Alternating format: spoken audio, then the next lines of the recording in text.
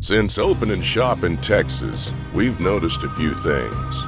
Texans prefer to have the biggest. We're talking the biggest boots, the biggest mascots, the biggest rocking chairs and fire hydrants, trucks, gas stations, expressways, and of course, chicken fried steak.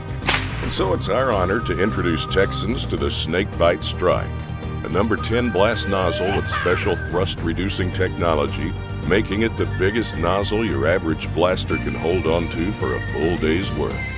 BlastOne, helping Texas get even bigger. You're welcome.